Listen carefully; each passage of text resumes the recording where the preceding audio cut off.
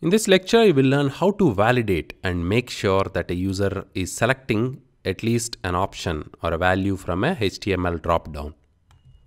Copy the last script, create a new file. Once you learn validating one of the HTML fields, it's very easy and straightforward to do it for any HTML field. We are going to ask the end user to select a color. That's our dropdown get rid of the input type text. We still need the submit button. Select. Close the select. Start with option. Value is equal to blank. Select a color. This is the default that will appear. Option. Copy it paste it three times. You can use your favorite colors. I'm using mine blue. And the value also will be blue or the value that appears should be blue. Red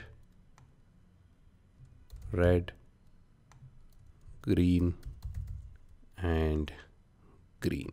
G capital. Save it as drop down dot html instead of numbers.php you can say drop down.php php it doesn't matter. This page doesn't exist. Scroll up. Clean up the script block or the body of the function. We still need the function itself. Form validation. Change the title to drop downs so when the validation validate function is invoked we are going to ensure that the user has picked at least one of these colors where color is equal to document dot my form dot. Give the select box a name. Name is equal to color so that we can refer to it using the name color dot value. If color double equals blank that means the user hasn't picked anything because blank means it's the default. Select a color. Then alert within double quotes. Please pick or please select a color. Put the select box in focus document dot